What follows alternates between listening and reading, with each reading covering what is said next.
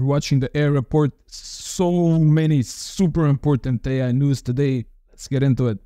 Two research papers just came out claiming that advanced superconductors can be crafted that work at room temperature, and the way to create them is not even that complicated. This is huge, if it's true. It is possible that the papers are not entirely correct, and that's what material researchers are frantically trying to figure out right as we're speaking. But if the papers are correct, this will change the entire game. Conductors are used on every single electronic device you can think of, and superconductors are basically a million times more efficient. Superconductors have been around in one form or another, but their main limitation so far has been their operating temperature. They require extreme cold to function, or so we thought until now. In the age of AI arms races and chip wars, where everyone is scrambling trying to get their hands on the fastest chips possible, superconductors that operate at room temperature will have an astronomical impact on the field. Chips might become both faster and cheaper, everyone will have more access to them, everyone will have almost the same computing power as big AI companies. I can't even picture how this plays out. Scientists across the world are trying to test if these papers are correct, but if they are, man, the times we live in. Okay, we have lots of other important stuff to cover, let's move on. Stability AI released their most advanced text to image model, Stable Diffusion XL 1.0. The model is customizable, ready for fine tuning for concepts and styles. Okay, important update, no doubt, but I think this is more of an incremental upgrade. The difference with the previous version will not be astronomical. While we're text to image, photographer John Kelly created a bunch of images with Midjourney that honestly blew my mind because they're just so realistic. Look at these images. They're boring, a bit blurry, amateurish. They're so realistic I thought my dad has posted his old Motorola phone images. This is the future, both of photography and of misinformation. It's not those magical, vibrant Midjourney fairy tale depictions, but realistic photos like this. Okay, tech giants time. Anthropic, Google, Microsoft, and OpenAI, or as they're unofficially known, the four riders of the AI apocalypse, launched the Frontier Model Forum. The goal of this merry band of monopolies is ensuring the safe and responsible development of frontier AI models. I'm a bit suspicious of these types of mafia alliances. I think that instead of thinking about safety and responsibility, they may discuss how to dominate the world. On the other hand, I'm sure these companies are already talking amongst themselves, so maybe it's better if they shed some light on their meetings and discussions.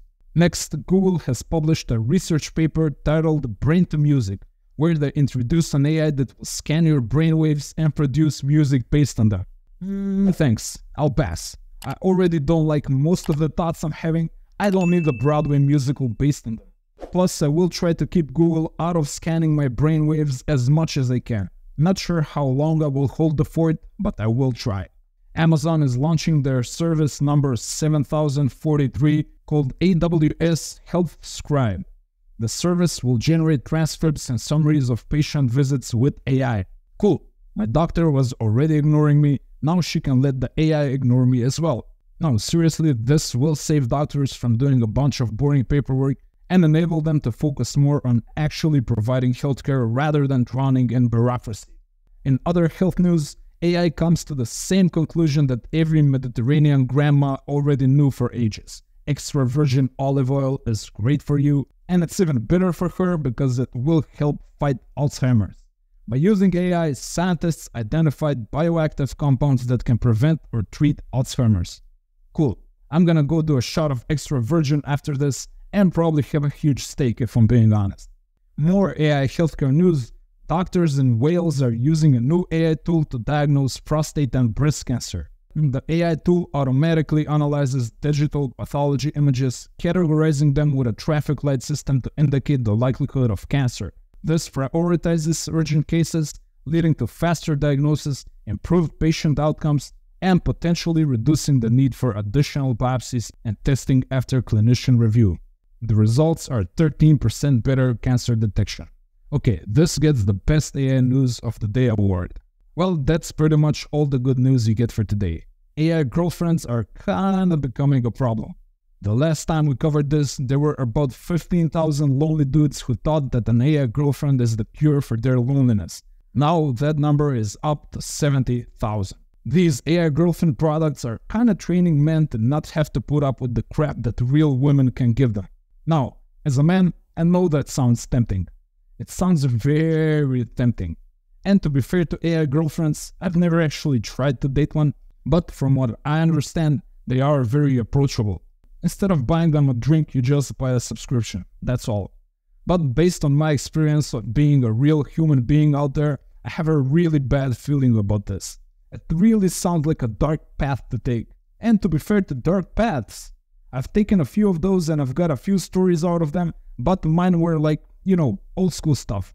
But more importantly, I've always found my way back, I guess. I always have a come to Jesus moment at the end and extract a valuable lesson.